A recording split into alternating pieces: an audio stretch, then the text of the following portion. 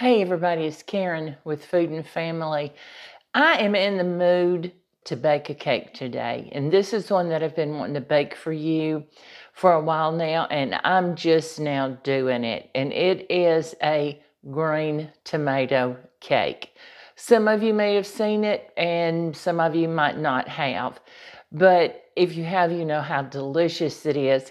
And you think green tomatoes in a cake, hmm but trust me, it works and it ends up tasting like apple. It is absolutely delicious.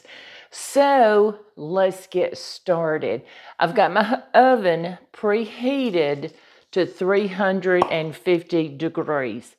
I'm going to start with spraying my pan with the baking spray. So we're done with that. I'm just going to sit it back here. So in my mixer, I'm going to add two sticks uh, of room temperature butter. Now my butter is pretty soft. It's been out all morning. So I want to get that in there. And I'm going to add to that two and one half cups of white granulated sugar. Two and a half cups, I said. I want to look at my recipe to make sure I get it right. You know, baking is pretty precise. That's one and two. So that's two and one half cups of sugar. You know, I had Pop go down to my little raised garden beds here and pick me some green tomatoes for this cake. And they are absolutely beautiful. I want you to look at here. Now, these are heirloom tomatoes. They're Cherokee purple, but I had him pick them while they were green. So I think they're going to be great. So let's start this off slowly. I'm sure you can't see down in that bowl, but I'm trying to angle my mixer where you can see what I'm doing to it. So I want to get this creamed together fairly well. Give me a minute, let me get this cream together, then I'm gonna come back after it's done and I'll show you what we're gonna do next, okay? Okay, this butter and sugar is creamed together really good and it is just beautiful. Now I have three eggs that I've gone ahead and cracked into my bowl and they're at room temperature. And in, in baking, room temperature eggs, uh, milk, anything using like that, it just does better when it's at room temperature. So I always try to think about that. And sometimes I don't think about it ahead of time to set them out, but I like to. But I tell you what I've done, if I forget to set my eggs out, I get me a bowl of pretty warm water and I set my eggs in there for just a few minutes, not long, and it'll knock that chill off of them and the third one. Okay, so let's get rid of that. Okay, so while that's mixing, I'm going to go over here to a separate bowl and I am going to get my flour and our good spices together here. And I have got three cups of all-purpose flour. Now this is so delicious and I have not had this cake in so long. Don't pack your flour down in your measuring cup when you measure it out. I just go down, bring it up, and then level it off. Okay, so to this flour, we want to add our spices. Now I'm going to use apple pie spice. And I'm going to use one and one quarter teaspoons of apple pie spice. One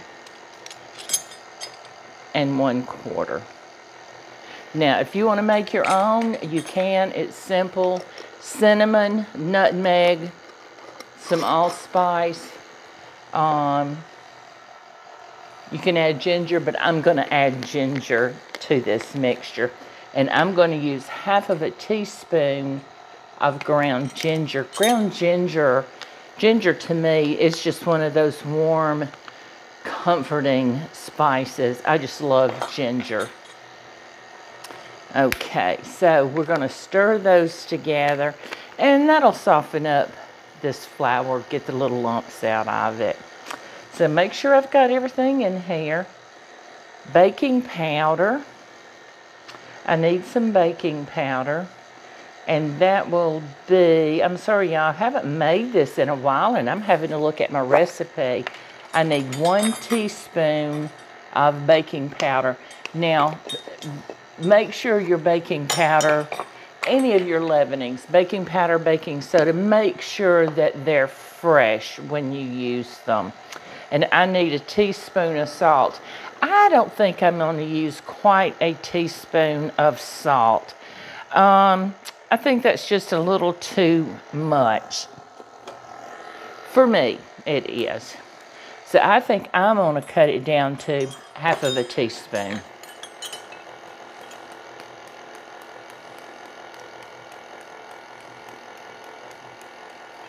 And there we go. We got our salt in. Just love my spice drawer and I've got everything right here by me. Okay, so I'm stirring this up. But going ahead and stirring it up like this, I get my spices, all those delicious flavors spread throughout that flour. So when I mix it up, it's all mixed in there. It says, tells me to put this in my butter mixture half a cup at a time. So I'm going to get it started on low.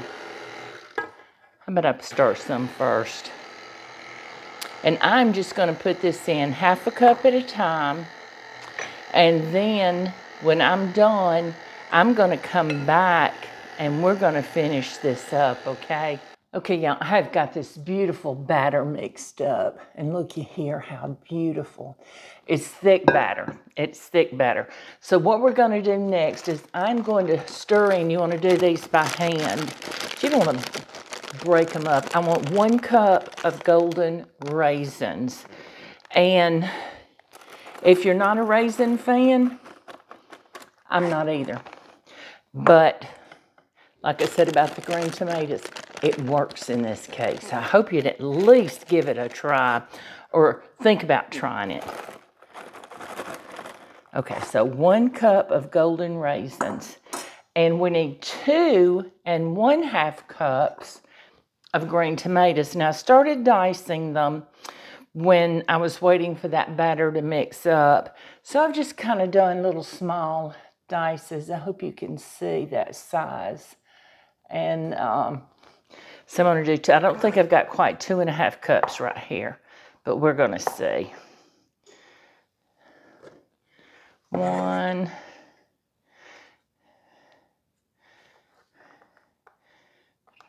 two, so where's my half of a cup? Hey, I did pretty good measuring that out, y'all. That is just about perfect measure. Okay, two and one half cups of green tomatoes and one cup of golden raisins. Now, we're going to stir this in by hand. And like I said, this is a really thick batter. So you're going to have to go deep down in that bowl and pull it up and get it in there. So let me get this finished and I'll be back. Okay, so I have this just about all the way mixed in, but I want to put some pecans. Now, you can use walnuts. I'm choosing to use pecans. I like walnuts, but I have pecans. And I want one cup of chopped, chopped pecans. And I put whatever you want. You know, if you want a little bit less, you go for it. Uh, if you want walnuts, do it. Put your nut of choice. My, mine happens to be pecans, but that's what I keep. So, but I want to chop these pecans. I don't want dust. I don't want huge pieces either. So I'm just going to give them kind of a rough, I'm going to say a medium rough chop, if that makes sense to you. Okay, let's see what we've got here. Let's see if we've got a cup. If we've got too many, that's okay. I'll put in the freezer. I did good again. I'm proud of myself. Looky here. We're going to put those right, right in there. And we're going to go back to mixing this up. I've almost got it completely mixed up. So we're going to take this and then we're going to put it into this Bundt pan. And I'm only going to fill it up. I think we might get it all in here. I'm not going to fill it to the top. I only want it like three quarters of the way. I need something to help me here. Let me get this in here. Instead of you sitting here watching me dipping all of this, and uh, I'll be back and show you this before we put it in the oven, okay? Look at this cake. Now, I'm ready to put this in the oven. Now, as I told you, we have our oven preheated to 350 degrees. We want to bake it for 70 to 75 minutes, and I'm going to set a timer. Alexa, set a timer for 70 minutes. One hour and 10 minutes. And then I'll check it with a skewer. I use a skewer and if it comes out clean, it's done. But that's not all we're going to do. We're going to make a brown butter cream cheese frosting. So I'm going to get this cleaned up and then I'm to start that frosting because the butter's got to sit for a little bit. So y'all give me a minute and let me clean this up. I'm going to go ahead and get my butter browned and then I'm going to come back and I'm going to show you what we're going to do with it, okay? Y'all, I went ahead and browned my butter. Now, this nutty, buttery, delicious smell is amazing. Now, what I did is I had one and one half sticks of butter, and I put it in my pan, and I put it on the stove on very, very low. I wanted to make sure I turned my stove off. And um, just let it simmer, the butter melted, and then just whisk it, stir it frequently because you don't want it to burn. And what's going to happen is you're going to get this golden brown, nutty smell and look to it. And it is going to be delicious. So I'm going to let it sit here for I don't know, 15 minutes or so because I want it to cool off a little bit. Then I'm going to put it in the fridge and we're going to let it solidify again. So it'll need to stay in there probably an hour or so. So we're going to let that work while our cake is baking. So, but when it's ready, I want to come back and show you how we make this frosting. I have taken this cake out of the oven, and if y'all could just smell it, oh my goodness. It smells so delicious. But now we've got to make our frosting. So remember the butter that I browned. I put it in the refrigerator and I let it solidify again. So I'm going to put this in to the mixing bowl. And I'm going to add one eight ounce package of cream cheese that has been softened. You want to get every one of those little bits. That's where so much flavor is, okay? And I need this, don't I? I want two if I can get it to work, and I want to cream these two together.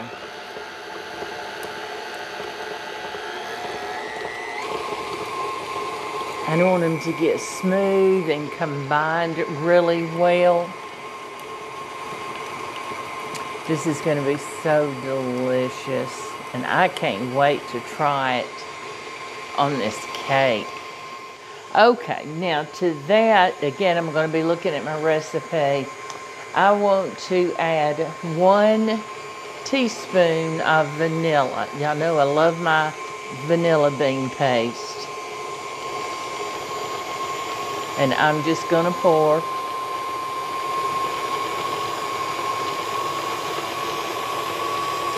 If you get a little bit more, it won't hurt anything. It's all good. Okay, and then I want some salt. And says half a teaspoon of salt. I'm just going to put uh, about a quarter of a teaspoon. I think that'll be good. Now to this, I want to add three and a half to four cups of powdered sugar, and I'm going to do it in small increments but I'm going to turn this down. I don't want to wear it, and I don't want it all over my kitchen. Start slow and get it going. And that was about a half a cup. So we're going to do another half a cup. So let me get this mixed up and I'm going to come back and I'm going to show you what this looks like, okay? Okay, now I have added three and a half, right at four cups of powdered sugar. Now, it's a little bit thick, so I'm going to thin it down just a little bit with some milk. And I'm just going to start with one tablespoon of milk and see if that gets it where I want it. You want it to where you can spread it, but you don't want it running off your cake. And I'm going to check this because I think we might be there. A little bit more.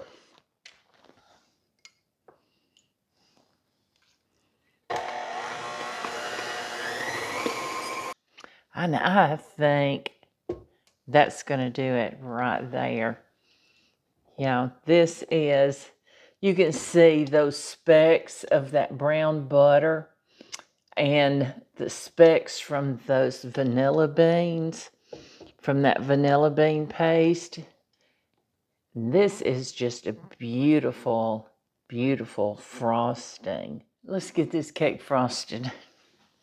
Let's move this out of the way. I want you to be able to see everything because I want to try to move this closer to you. There we go.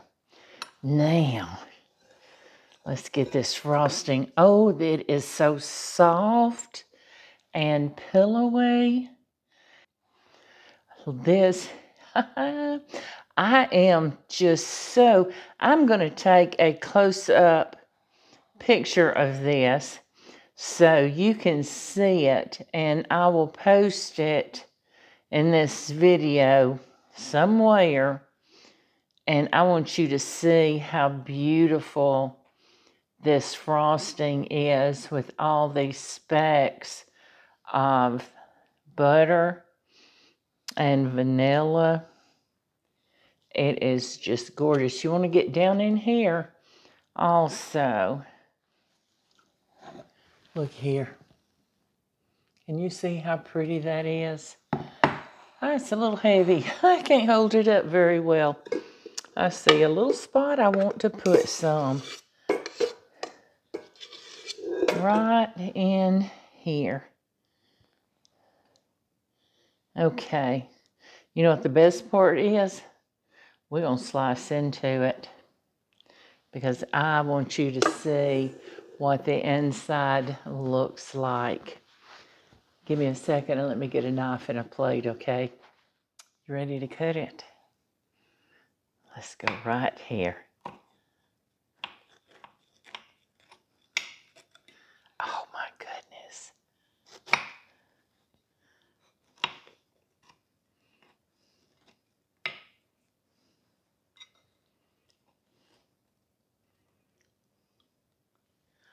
Looky there. Looky there. Let's see if I can get this on here. I want you to see it just like that.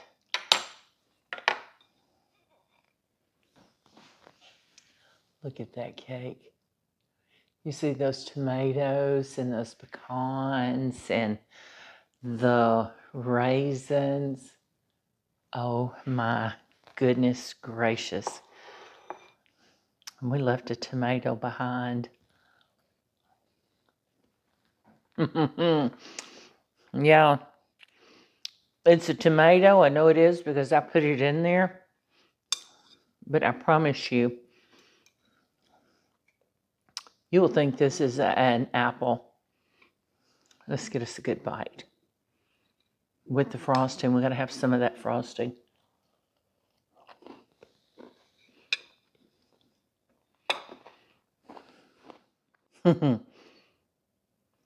All I need now is to go make me a cup of coffee and go sit back and enjoy this piece of cake. Now, I certainly hope you will make this cake so you can enjoy it as well. You see in there? And I hope you will. And I hope you'll let me know if you do. But I also want you to think of something. Think of my cookbook. And I hope you're thinking about going out and getting one. And I'll list the link below where you can go to my website and order them. Now, it will take you out of my website and into the printer. But I promise you, it is a secure site and they will take your order and they will ship it to you. And they're real quick turnaround. Thanks, everybody. Please like, share, and subscribe to our channel and come back and see me again because I certainly enjoy having each and every one of you with me.